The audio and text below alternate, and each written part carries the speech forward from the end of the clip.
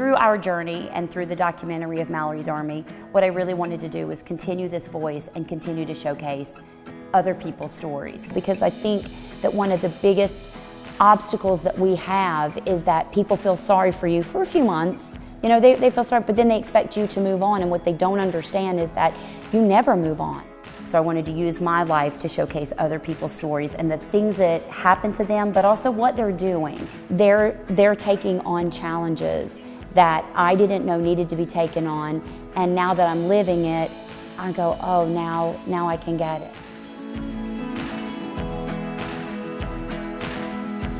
I want to thank Dianne and Seth Grossman, Jen Stillwell, and the entire Mallory's Army team for being here tonight. When Mallory passed away, the knee jerk from my friends and family was anybody's going to speak about what happened to Mallory, it's going to be you. And I just was really very anti this. And I guess I was putting it into the category of the fist pumping, loud music, anti bullying presentations. And I was like, that's just not me.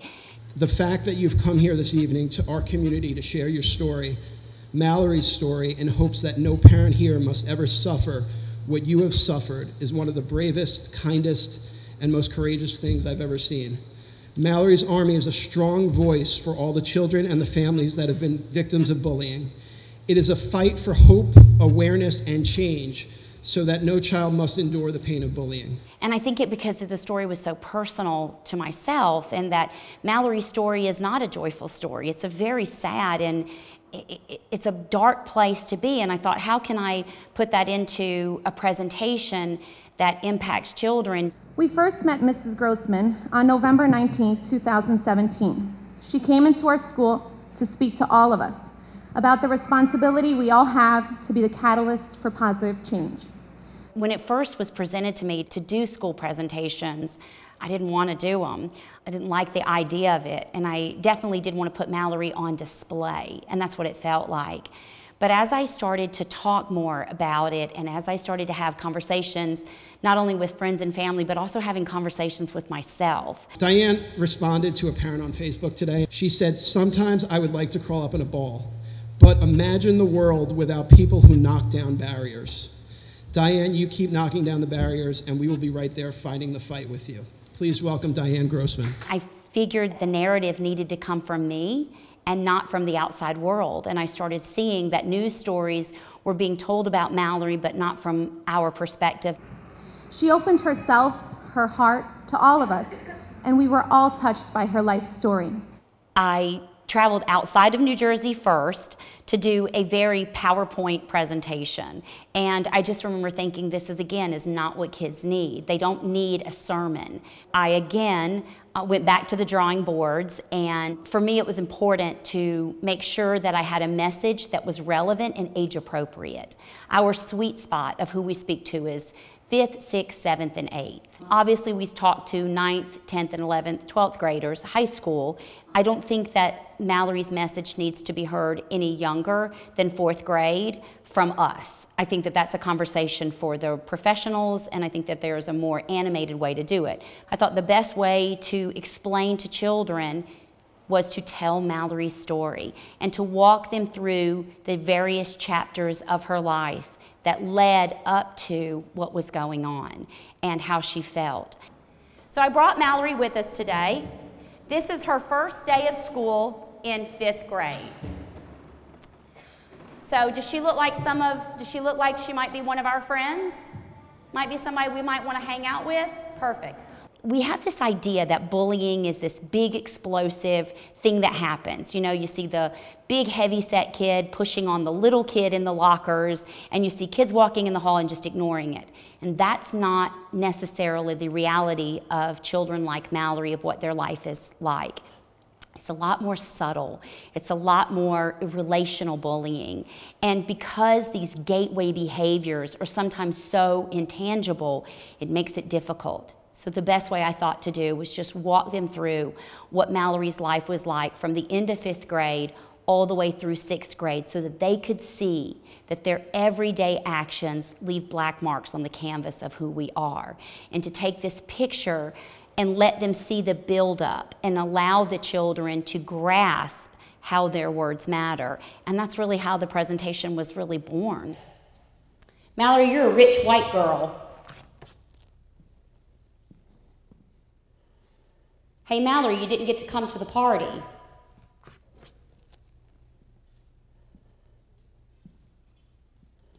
Somebody say sorry to Mallory. Sorry, Mallory. All right, well, we're going to wipe these off, right?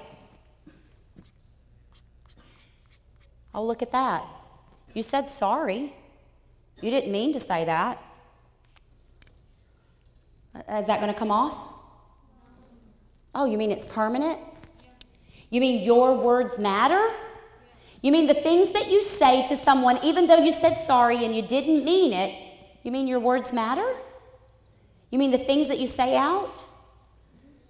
It's very humbling. I've had school administrators, people that have been in education for their entire life, 20 plus years, and it's very humbling to hear that our presentation is one of the best presentations that they've ever heard. I'm not PowerPointing you, so the video that you saw, that was it. That's the electronic portion.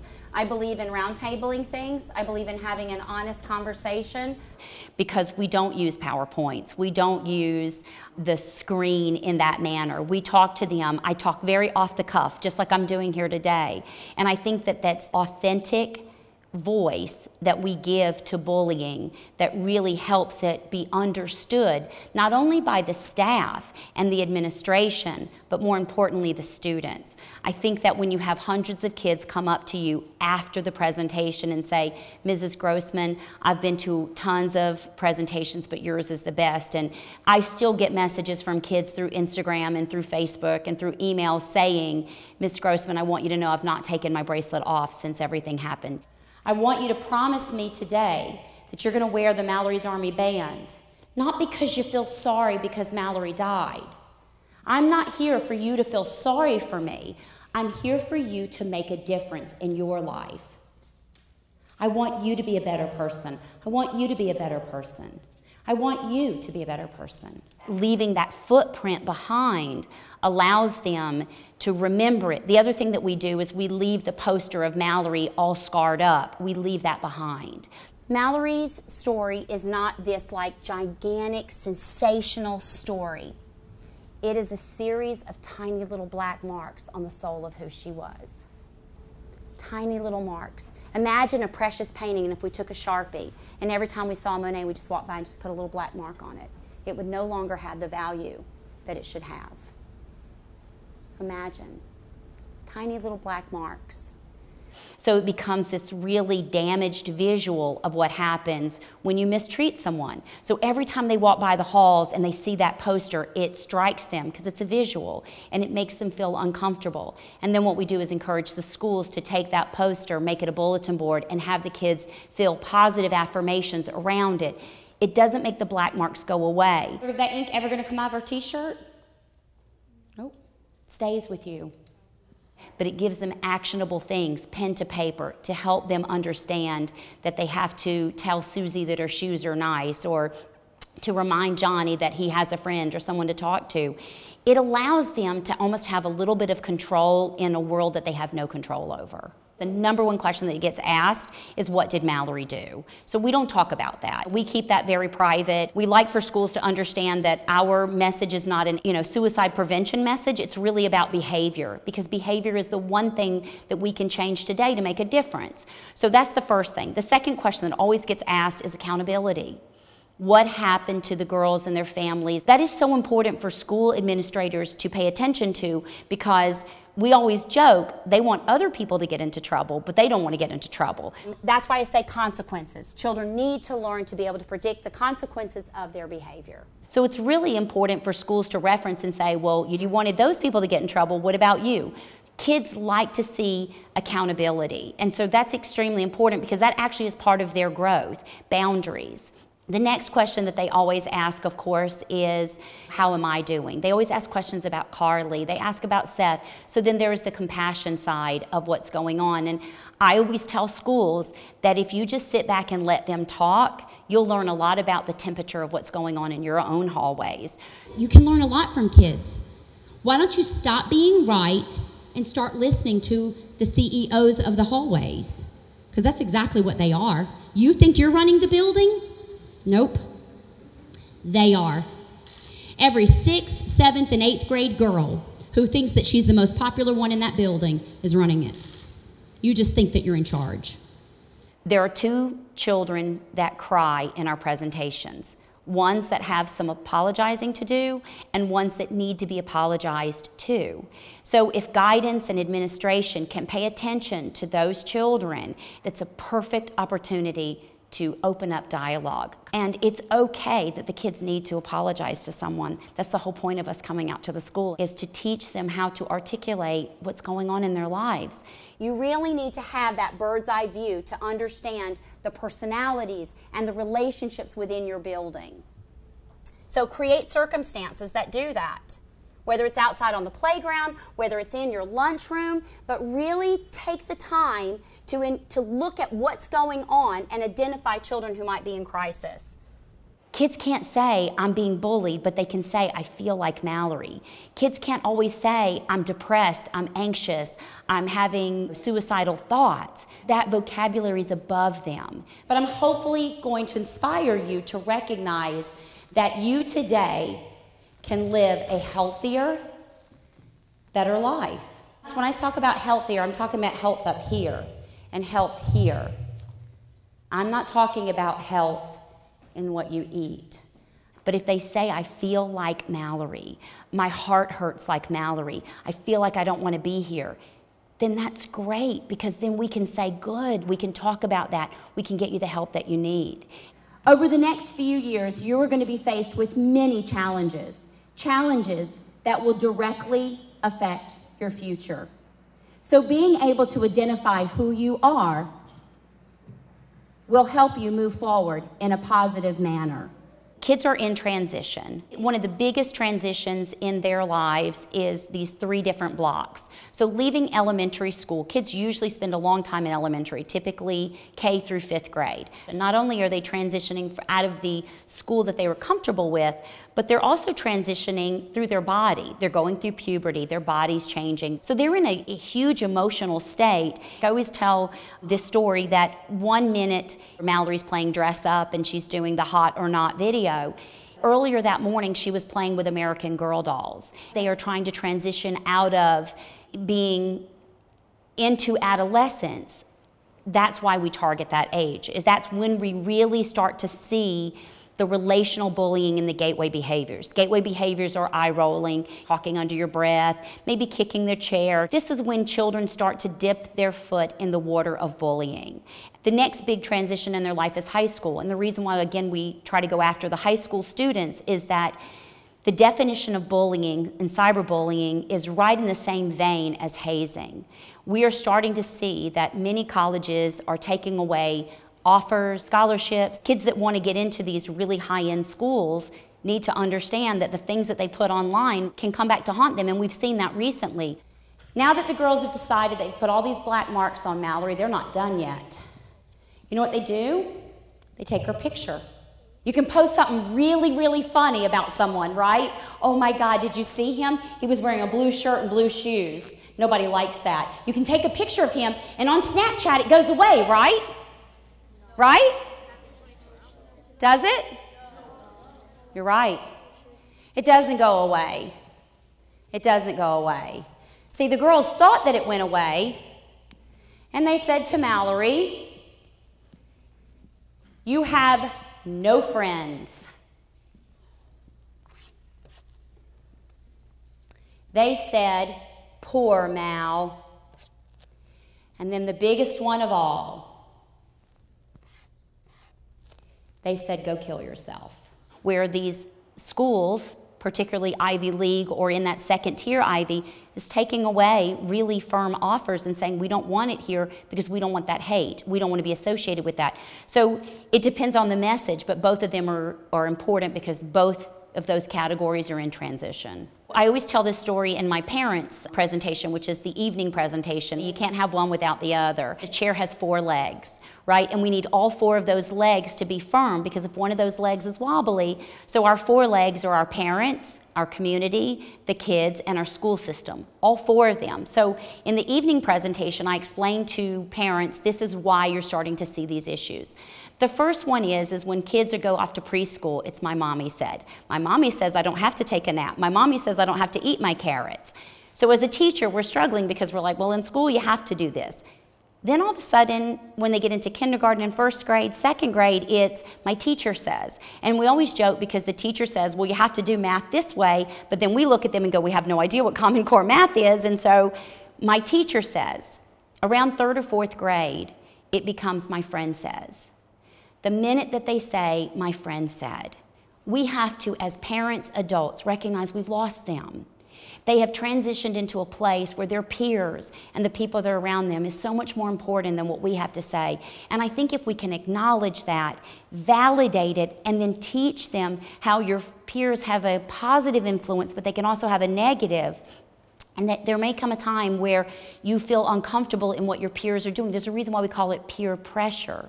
I think for some reason we've ignored that and we've skipped it.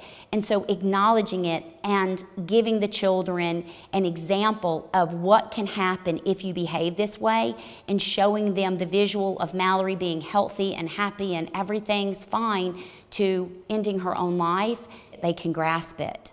You know, the other thing that we do is that we expect our children to be able to be resilient. Resilient behavior, which is the whole sticks and stones, words do hurt. Resilient behavior, your children aren't born with resilient behavior. That comes from a lifelong of struggles and trying to figure it out. Everyone says, why didn't you just kick their ass? If you just, if you just, you can take a bully down. Not everybody has that type of personality. I can tell you right now, my daughter Mallory, she would have never confronted her bullies.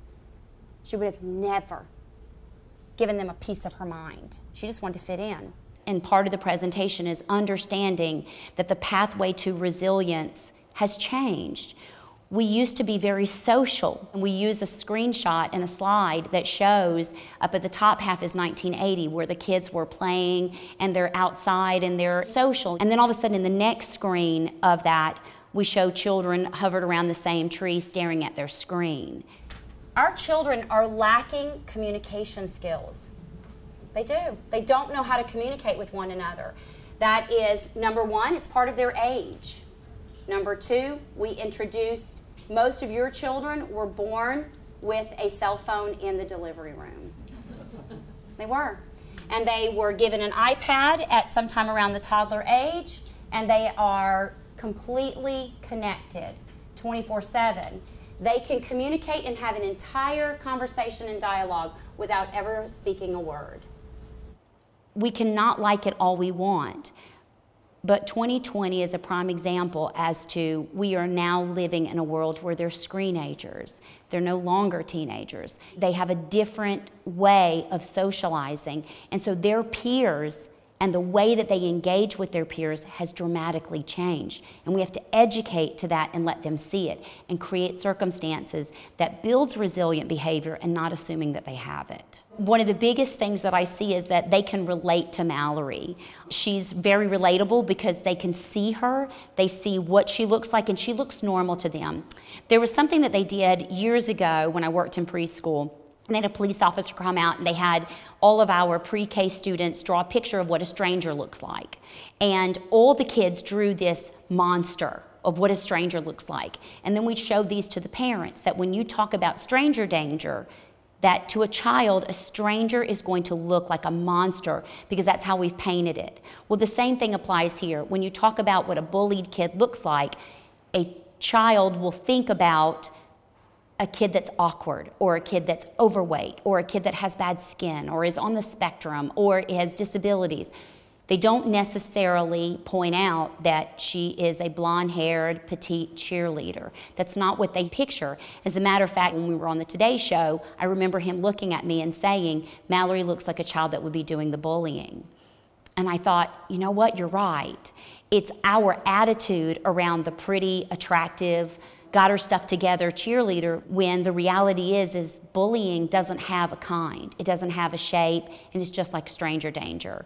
That whatever your perception of a child that is bullied looks like, I want you to wipe that chalkboard clean. Mallory's story in our presentation dummies down all of the preconceived notions that we have about children that are bullied and makes it so real and very relevant to them. So the first thing I talk about during the school presentation is common ground. Common ground is something that's really missing from our everyday speech. The number one reason why children don't let other children sit at the table with them is they have not figured out how to figure out what common ground is. More than likely, every kid at the table likes pizza. I have a question for the children that are standing up right? This little icebreaker. Do you guys sit at the same lunch table? No, right? Okay. Now listen to my words. Listen to my words. Stay standing if you like pizza. When you find common ground with someone, you are more likely to be sympathetic to their way of life, and then you're less likely to humiliate, intimidate, and bully them. It's the way that people relate to one another and they find commonalities. I have everybody stand up that has different activities. Some like soccer, some like gymnastics, some like dance, some like reading, some like writing. I have them all stand up. Then I ask them three questions. Do you like pizza? And they all go, Yeah, I like pizza. Some like pepperoni, some like vegetable, but everybody likes pizza. Do you like candy? Yeah, some like chocolate, some like Sour Patch, but we all like candy. Do we like streaming videos on either YouTube or Hulu or Netflix or whatever? And they all go, yeah, yeah, yeah. Great. We just showed you that the soccer kids have something in common with the kids who like reading. Again, they don't have to be best friends, but what we teach them early on is that a child that has a sports background and a child that has an academic can have three things in common. It has been proven that children will be more likely to stand up for one another if they're being bullied if they know that they have common ground. I'm not suggesting that everybody in here hold hands and sing kumbaya. I'm not suggesting that.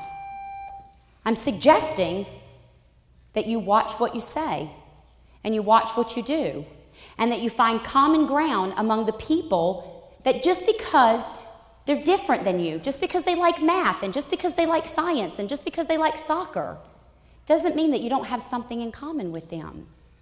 Do you think the girls that bullied Mallory, do you think they might have had things in common with her? Probably, right?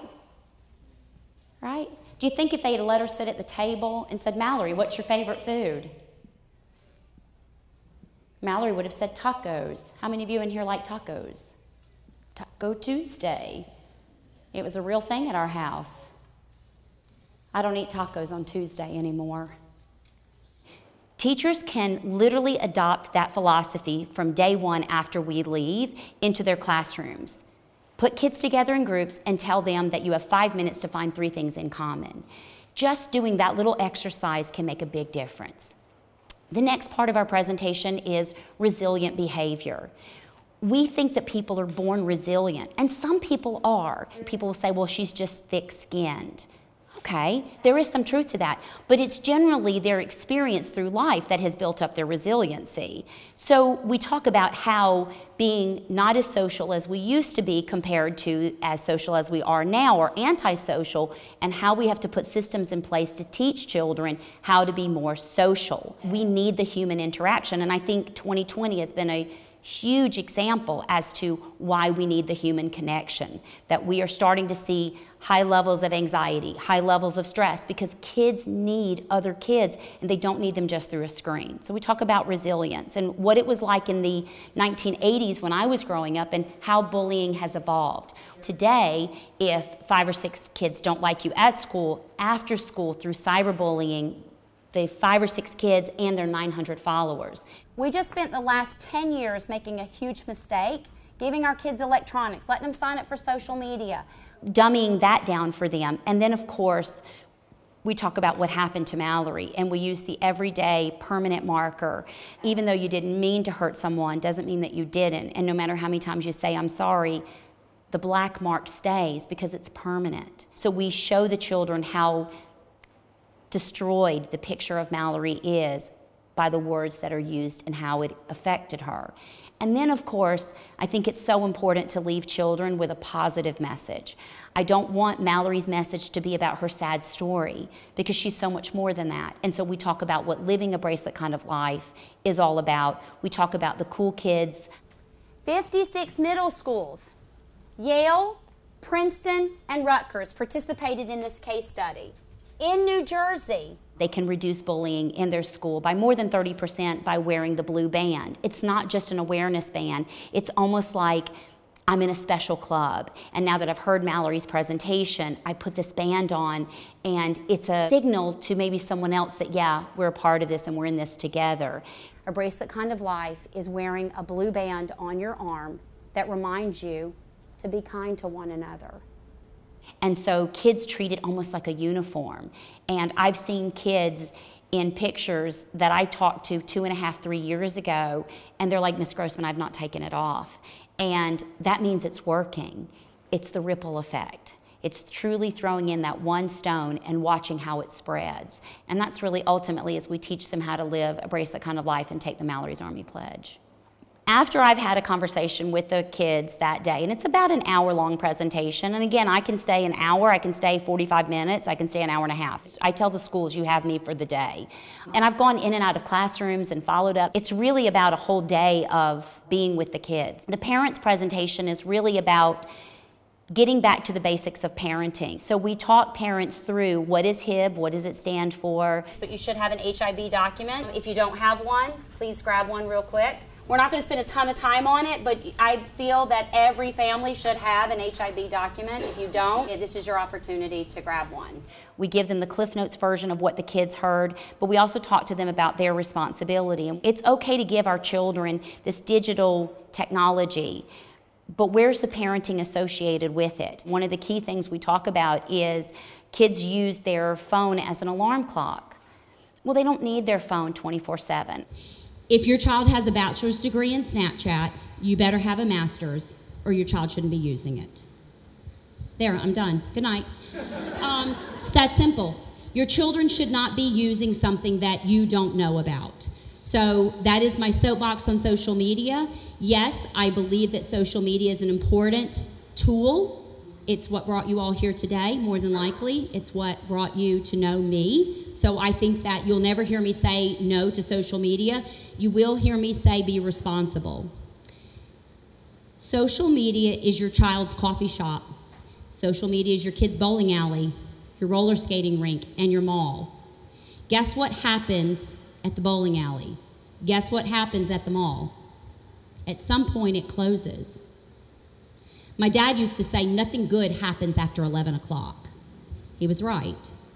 So, why doesn't their mall close? One of the biggest problems we're having is that their mall never closes. And so, how can they ever take a break from it if we as parents never step in and take them away? The mall closes at 9 o'clock. You need to put those systems in place. You need to allow it to charge downstairs. Children can never appreciate the life that they have if all they're ever doing is looking into a life that's perceived to be better or worse than theirs, if they're always looking at their friends on vacation or they're always looking at their second beach house, how can they ever appreciate the life? We have to teach them how to appreciate that life. And you, unfortunately, have to be a parent and not a friend.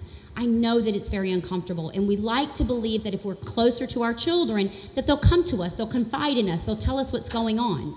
Mallory is an example. Everybody will tell you that knew Mallory, that knew me. Mallory and I were super close. She told me a fraction of what was going on. And that's probably the core message out of everything that I say to parents is that we have to parent in a digital world. And what we're doing is we're still trying to parent and say things like, well, when I was a kid, this is what I did. Doesn't matter what it was like in 1980. That's not their journey. They're kids in 2020, and we can all agree that it is so vastly different than when we were kids that we have to start parenting to that world. And that presentation's about an hour and a half, sometimes two hours, because I do get wordy. But everything I say is important, I think.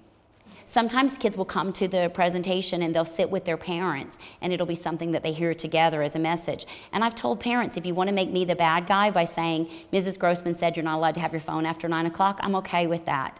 Sometimes the solutions are right in front of us, but we are so afraid to parent our children because we live in a world where our children are closer to us. We allow our children to have a say so. There used to be a scenario where the kids were seen and not heard. Our children have evolved, and we're seeing it right now with the temperature of the environment of what's going on out in the world. These young people do have a voice we have the right to listen to it and we should listen to it. But we should also remember that their experience and their immature brains allow them to think in a completely different manner. And so we have to continue to parent in that same vein. Cyberbullying is real and it's different than other bullying. You can't change what you don't acknowledge. If you don't acknowledge that cyberbullying is harder for a child than regular everyday bullying, that's the first step is recognizing it. Use teachable moments. If you catch your kid doing something online that they're not supposed to be doing, put the phones down, have a conversation. I trust me, it's much easier to have a conversation when you're proactive than when you're reactive and trying to figure out what's really going on we have to understand the psychology around gossip. And I think that that's extremely important for parents to realize that when you're being talked about, whether it's true or not, there is this emotional connection that happens. We talk a lot about that. We also have to recognize that maybe children that are 13 don't need to be using apps that teach you how to hide content from your parents. It's okay to give your children social media. It's okay to let them do things, but don't give them a platform that allows people to come in and say bad things about them. I give example kids that have YouTube channels. There's an, literally a section that allows you to have comments. If your child is not thick skinned enough to receive those comments, or they're having a difficult time, or they don't want to be talked about, and they don't want it shared, then maybe don't give them that platform. We don't give kids keys to a car on the day that they turn 15. There's a series of steps that they have to do to earn it. And that's really what happens with digital responsibility. You earn it, and you have baby steps as you go through the process. And then by the time you get to be 16, 17, 18, after you have a proven track record of not abusing technology, then you can have it on a full scale. But I think that what happens is it's almost like a free for all. They turn 10 years old and all of a sudden they have the iPhone 11 and they have every app that's ever been developed, and then we wonder why they're struggling with it.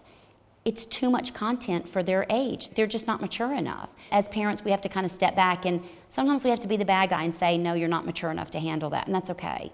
Branding is so important. We are in a society filled with brands Nike, Under Armour. Everything has a brand.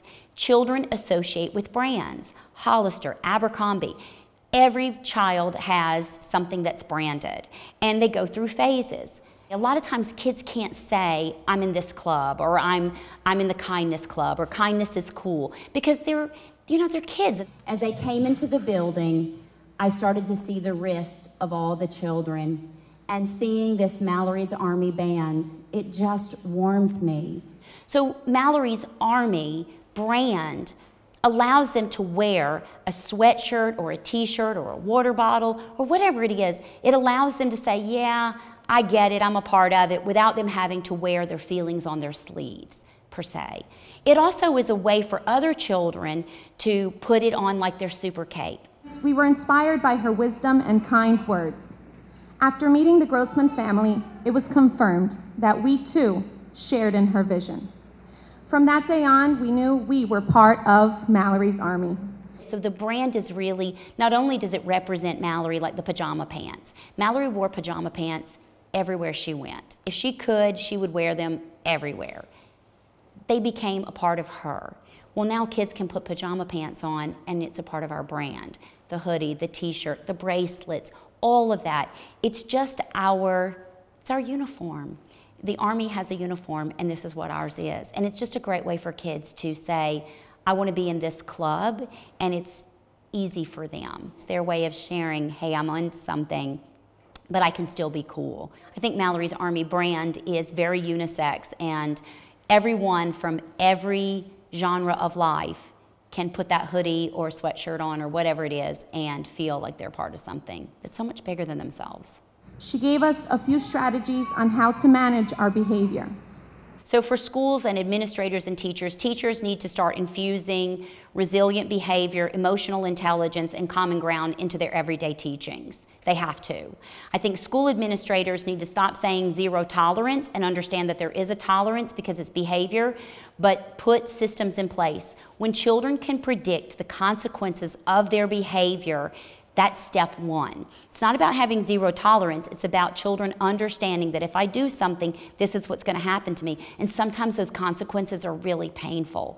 When someone contacts you and says your kid is behaving poorly, stop defending the behavior. Every kid in this room is going to make a mistake, they're going to do something that they regret. And you should be prepared for that phone call and you should say, Thank you so much for contacting me.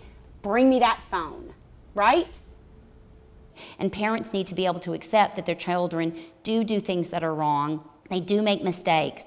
And not being able to go to the fifth grade or sixth grade dance is not the end of the world, but it's a great lesson for the children to learn. I'd rather them learn about not being able to go to the sixth grade dance than to learn about criminal behavior at 18. I think we all walk away with homework with the presentations, and we give them a lot of food for thought, including the kids. You know, the kids have to get involved but we as adults have to create the systems to allow them to get involved. It's just my way to give back.